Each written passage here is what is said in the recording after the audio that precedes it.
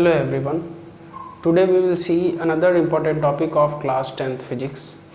Chapter is electricity and the topic is combination of resistance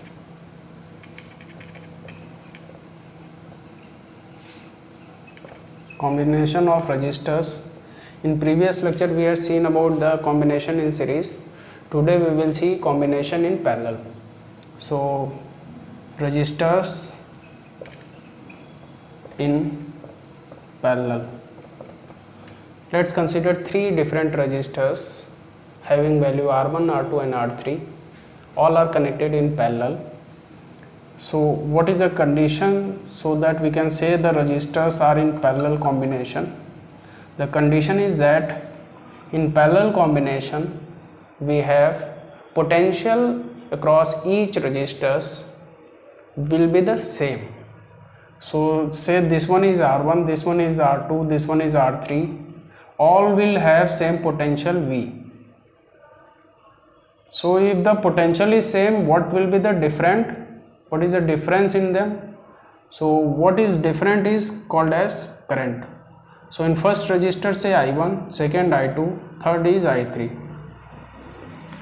all three are connected across a source say having potential v let i be the net current passing through the circuit then we can calculate the formula for combination of such resistors it is clearly seen that total current in the circuit is capital I which is further dividing into I1, I2 and I3. So we can write as I is equal to I1 plus I2 plus I3. We are clearly seeing here that I1 is this, R1 is this and we have from Ohm's law we can write V is equal to IR. So from first case you can see that V is same I1 is I1 and R1 is R1 so we can calculate I1 as V by R1 similarly for this and that also so I2 and I3 now we can put the values in equation number 1 remember that potential is same across each resistor and current is different. So total current is equal to this.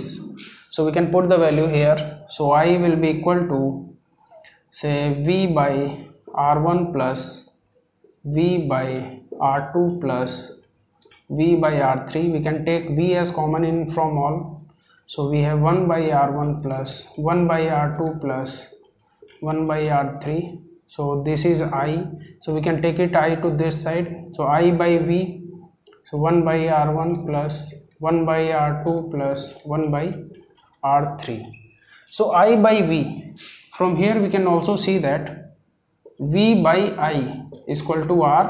Then I by V is equal to 1 by R. So we will use this formula here. So we will have 1 by RP say parallel combination.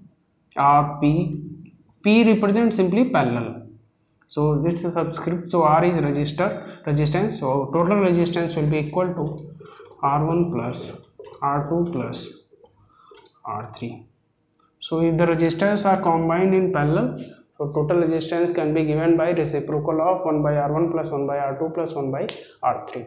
Thank you.